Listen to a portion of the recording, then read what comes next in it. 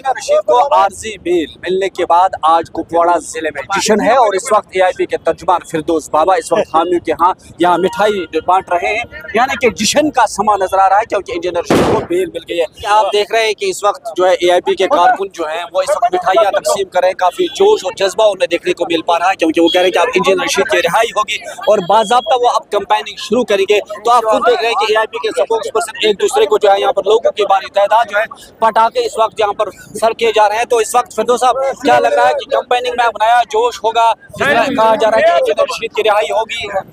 बिल्कुल हम उसकी उम्मीद कर रहे थे।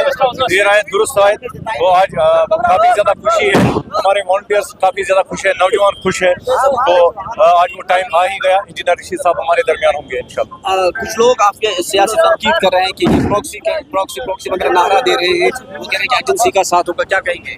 ये चाह रहे हैं कि कश्मीरी कभी जेल से छूटे ही ना तो इनका यही है जब एक कश्मीरी पाँच साल के बाद आज छूट रहा है तो मुझे लगता है कि इनको कहीं कहीं कहीं ना कहीं इनके जो महल खाने हैं वो उजड़ रहे हैं। इनको उस चीज़ की पड़ी है इनको इस चीज़ की खुशी नहीं है कि एक कश्मीरी पाँच साल के बाद अपने घर से घर में अपने लोगों से मिल रहा है अपने अपने अहल से मिल रहा है वो इस चीज़ की ये चाहते हैं कि कश्मीरी जेल में ही रहे। और जिस तरह से ये नौजवानों को सियासत से बाहर रख रहे थे और और एक साजिश के तहत इनकी इनकी जो रोटियाँ थी सियासत की रोटियाँ वो पक रही थी उससे तो आज इसीलिए नाखुश है। यानी कि अब जो ही नशीद बाहर आ जाएँगे कल तो आपको क्या लग रहा है कि पूरे कश्मीर में जो है अब कंपेनिंग नया सिलसिला शुरू होगा?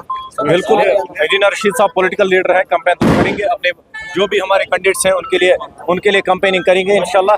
तो अ, एक सैलाब सा जैसे आपको पार्लियामेंट इलेक्शन में देखने को मिलेगा, उसके डबल आपको देखने को मिलेगा आज असम्बली इलेक्शन से। तो इस तरह से कहा जा रहा है कि जिस तरह अगर जो ये आप रहा होंगे तो ये कह रहे हैं कि अब सैलाब भ्रमण आएगा, यानी जिस तरह से पार्लियामेंट इलेक्शन में इन्होंने शानदार जीत दर्ज की, इसी तरह अब इस इलेक्शन में भी एक शानदार जीत दर्ज करेंगे। नेटवर्क एटीन के लिए या सुल्तान।